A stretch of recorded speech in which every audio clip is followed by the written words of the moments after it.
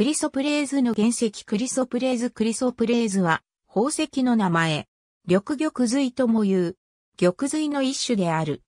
クリソプレーズのよく知られた産地としては、オーストラリアのクイーンズランド州、西オーストラリア州、ドイツ、ポーランド、ロシア、アメリカ合衆国のアリゾナ州、カリフォルニア州、他にブラジルが挙げられる。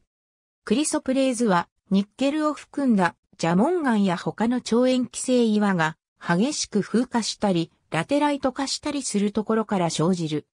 オーストラリアの交渉では、クリソプレーズは、非宿土鉱の豊富な腐食岩石が、鉄と二酸化ケイ素の下になったところで、茶色の針鉄鋼や他の酸化鉄とともに、鉱脈や紹介となって生じる。モースコードは6ないし7であり、壁界性を持つ。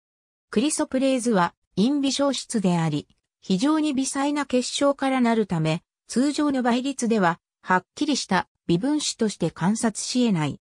この点において、クリソプレーズは、紫水晶や大水晶など、その他の水晶類と性格を意味する。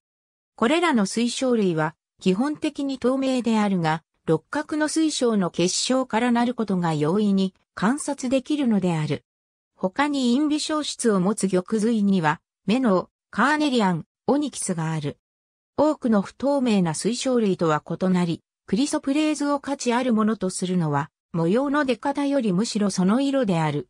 その色は、通常は黄緑色だが、新緑色のものもある。エメラルドの美しい緑色はクロムを含有するためであるが、クリソプレーズの色はエメラルドとは異なり、その構造に含まれる微量のニッケルによるものである。